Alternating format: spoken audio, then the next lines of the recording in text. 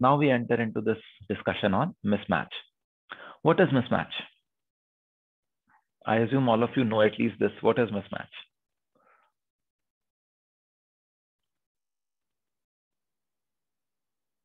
Uh, due to process variations during the fabrication, there will be a mismatch between uh, two different cells in the memory.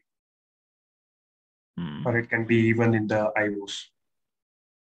Hmm. Any two devices, even if they are designed of, to be of the same size in terms of W by L, everything, even then, just by the virtue of, of the fabrication process being a normal process, there will be some mismatches between devices.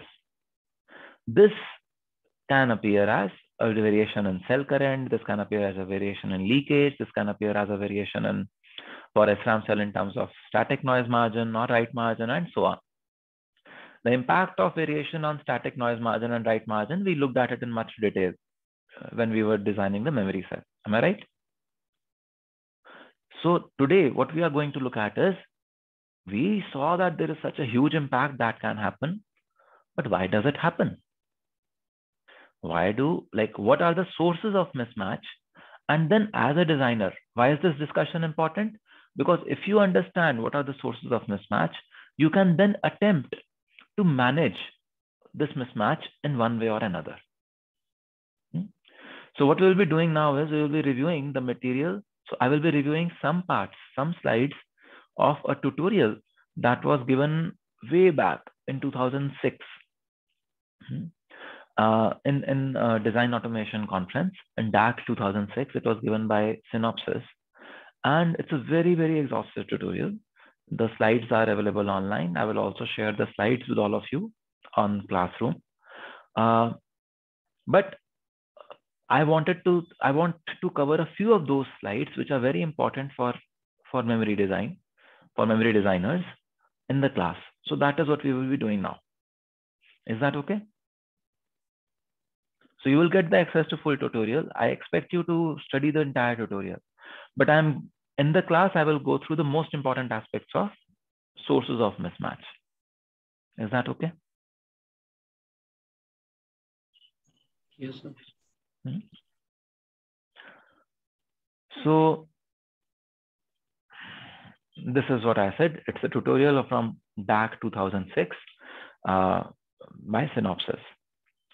So when we talk of mismatch or when we talk of variations, we need to understand that there are two primary kinds of variations, random and systematic. So what are random variations? Random variations are variations which are intrinsic in nature. They are kind of global variations. Huh? They, they will appear uh, whatever you may do uh, whatever you may do, those intrinsic variations will appear.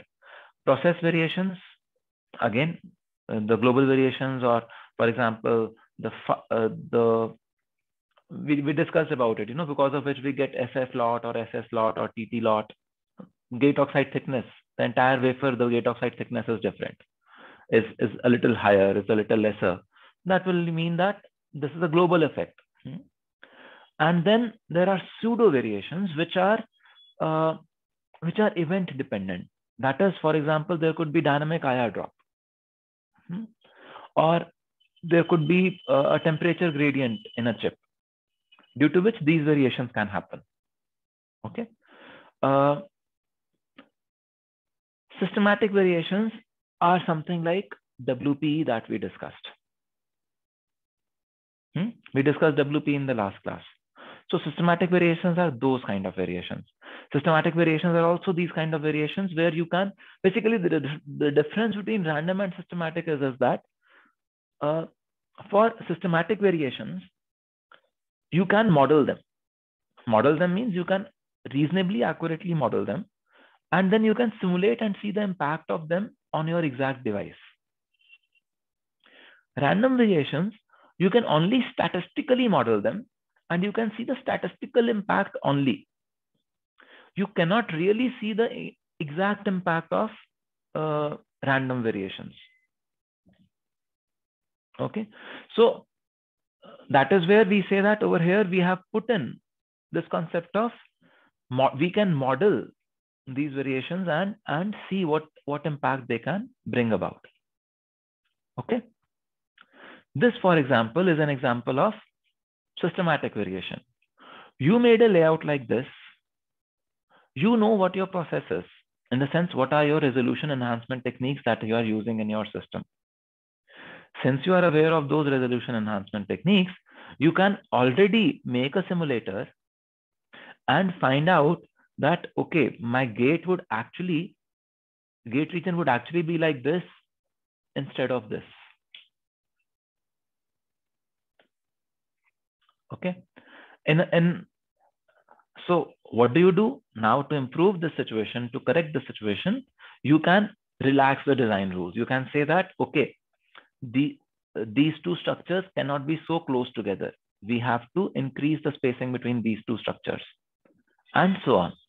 As you would do that, you will see that your design becomes more and more uh, aligned to what you wanted it to be.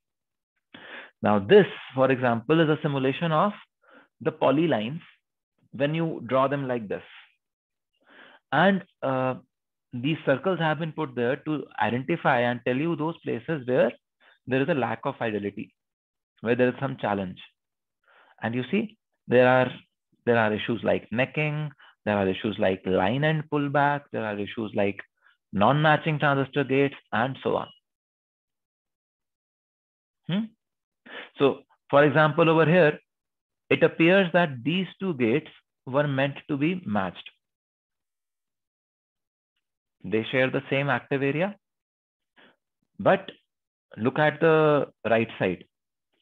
The image on the right side shows that they have different length finally. Are you able to see this?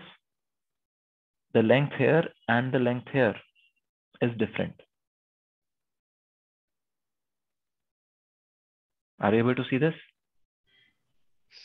So length, I mean, of the right gate, it is bigger, right? Because it is extended to the other ray diffusion also. So we're looking at the gate region uh, we are looking at only the gate region, not outside the gate region, only above the diffusion layer. So in this case, the diffusion layer would be something like this. If I just draw it, it would be something like this. Hmm? And you see that the uh, that the length of these two devices is different in this region. It has also been circled there. The thickness, the thickness. Sir. The thickness of the poly, which means length of the device. Yes. Okay. okay. Yes, sir. Yeah. Hmm. The thickness of the poly means length of the device. Huh? Yes, sir. Yes. So it is different. So it means these two devices, which are supposed to have the same same length and same width, would now actually have different characteristics. Am I right? So can you please repeat the statement? So these two devices that are marked with an arrow on the left side, they have same width and same length? Yes, sir. Now look at the right side. Due to various effects like line pullback, due to necking, due to whatever, so many different, because the polys have been designed in such a way that they have different poly to active spacing, they have different contact pads, they have so many differences amongst them. Yes. Are we able to see this? So yes. what is fabricated finally, on that OD that will be drawn, you will see that the, the width of the poly, that is the length of the device, is going to be different. Okay. Yes. Hmm? And this is not a random variation. When you made this layout, I can anticipate that this is going to happen. Are you able to see this? This is not a random variation. When you make the layout, you can tell that this is going to happen. Uh, sir, actually, I had to ask one thing, sir. कि जो uh, right side वाली जो आप दिखा रहे हैं, that is a simulation of the this left side layout, kind yes, of. Yes, that's a simulation it... of how the poly would finally turn out. Okay, so even before manufacturing, able to see this kind of. You can, okay. you can, yes. Even before manufacturing, there are mod there are simulators that can model your resolution enhancement techniques, that can model your process, and that can give you this kind of a view. Okay. So, but uh, I'm not able to understand like how it is different because in intrinsic you said that key uh, in random we have intrinsic and pseudo. Hmm. Uh, the, ये random exactly? नहीं है. These are systematic variations. So, but in random में वो uh, क्या एक minute, एक minute. These are systematic variations. Let us first get this right. Is that clear? Okay. These are systematic variations. So don't confuse them with random. I'm not started with random yet. Okay. So uh, these are random because you can model them or these are systematic because we can model them. Yeah, they are systematic because we can model them. Yes.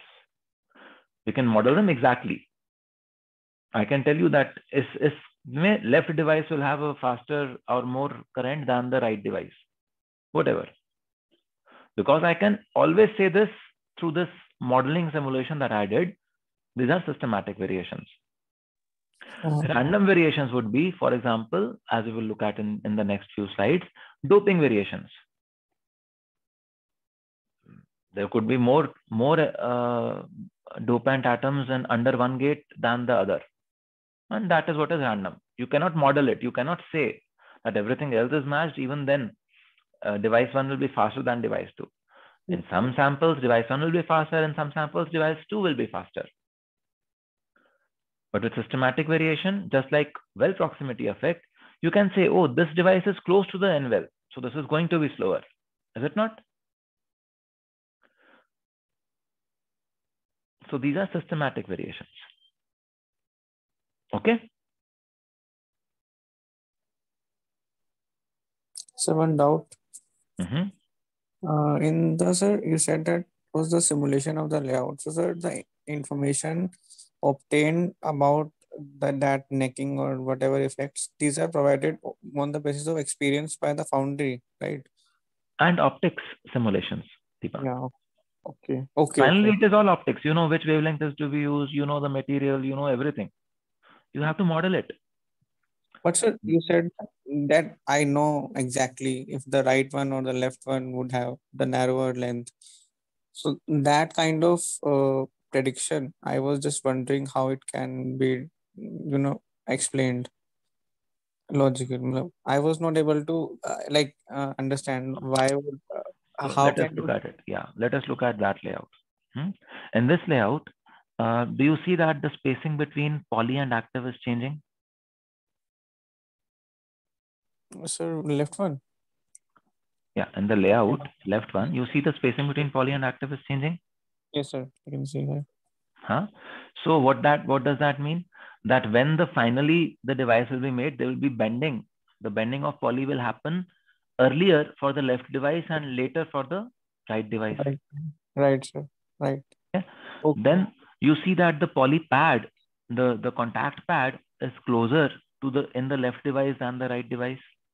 So you see, there are so many things yes. that are evident in the layout itself. Yes, yes, yes, yes. When you run the optic simulation, it will give you that. It would say that, okay, the necking will happen here. Mm-hmm. Rounding off will happen here. Line pullback will happen here. Yes. Okay. Got it. Got it. The differences are evident. And, and to avoid these differences, you make structurally matched layouts when you will design your sense amplifiers, whichever teams work, start work on sense amplifiers, you will be expected to do uh, common centroid layouts with structural matching even on the metal lines, yes, not just on devices. Yes, okay, so that such impacts, systematic variations are completely done away with. There is no systematic offset in your sense amplifier. Even yes, if it takes a little extra area, we will do it. Okay. Uh, uh, yeah